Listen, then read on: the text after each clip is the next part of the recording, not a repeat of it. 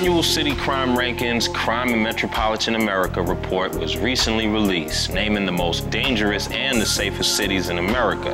This is all based upon stats provided by the FBI. The most dangerous was Detroit, and California had the safest city with Mission Viejo.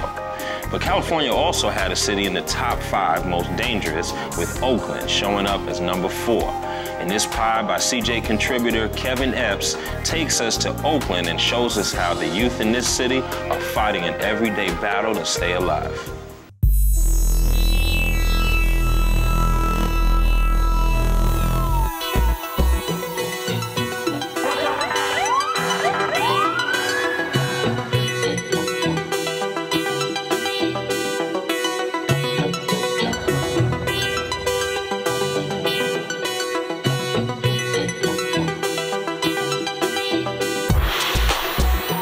East Oakland, California, you feel me?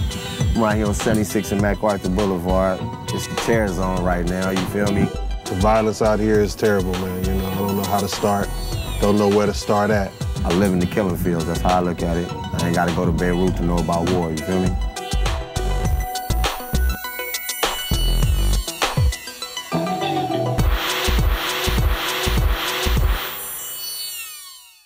Uh, my name is Dr. Andre Campbell.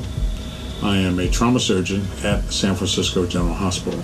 I am right in the midst of what is, I think, an epidemic of violent crime in the African American community. I have seen um, a huge torrent of violence.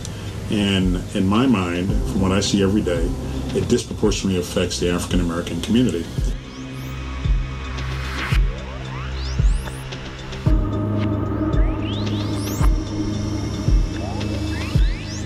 Happened to be where I wasn't supposed to be at the wrong time, I guess. My van got shot up. This is my family van, my wife's van. I'm leaving my mother's house about 2.30 in the morning and go to the Valero gas station. And uh, on my way out of the gas station, you know, somebody come out of the shadows, start shooting at my van. I can tell you that from what I see, people, young people, are being shot for things that are just, in my mind, totally ridiculous. So my name Dame, Dame Hooker from Oakland, California. Well, I got shot like two times, two different occasions, one in 94 and one in 99. One in 94, I got, uh, this dude got into an altercation over a car, came up, wop, wop, tried to take me and my partner out, hit me one time in my leg, you feel me? I survived that one. Like I said, I'd have been through it out here, man. I ain't been shot once, but I'd have been shot like on two different occasions. And when I say out here, I ain't gotta go too far, man. I'd have been shot right up there on top of that hill right there. And I'd have been shot right around the corner on 77, you feel me?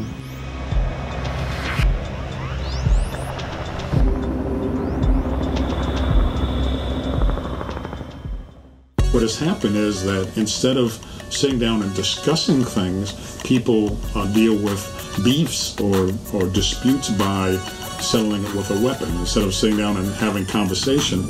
Well, the first time I got shot, I had pulled up in front of the stove and was grabbing some switches at the stove. And when I came out the stove, some tried to assassinate my character by coming around the corner and sneak attacking me, and I seen lightweight jumping off, so, you know, went down the way it had to go down, you feel me? And I wound up getting clipped, you know what I'm saying? I've been a doctor now for 22 years.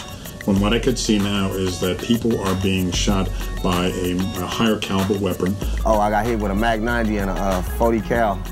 The second time I got shot, and I got shot at with a Cater before and got hit in my elbow. It's like equivalent of having a bomb go off inside of your abdomen, inside of your chest, inside of your leg, and causes just absolute uh, devastation to the to the human body, no matter where you're hit.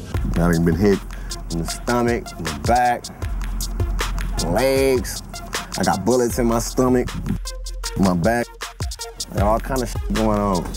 I got big wounds, boy. When I say big wounds, big wounds. Chopper, you feel me? Chopper City, boy.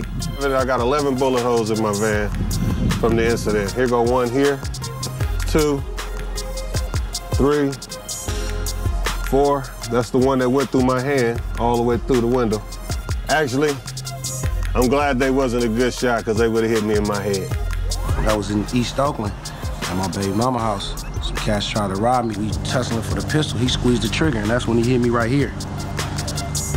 Nick right here in my chest. And you can see it didn't go all the way through right there.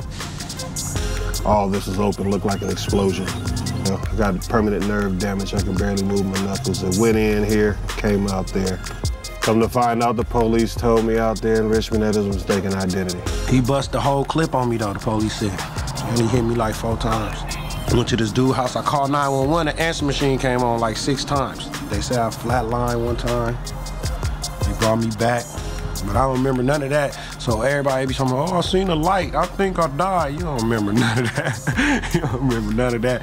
This my T1, you feel me? The one and only, you know what I'm talking about? Advantage, you know? Straight up. My they been cooked, you know what I'm saying? Fried right there on Nate Street, 73rd, you know what I'm saying? This man been hit with an AK-47, mate, on his own time, you Ain't feel me? taking it out, man. You know how we do it. Little war wounds, you know, this ain't nothing, no, you know, it's nothing, man. It ain't easy here, being man. a bandit, man. I'm gonna tell you that here, right man. now.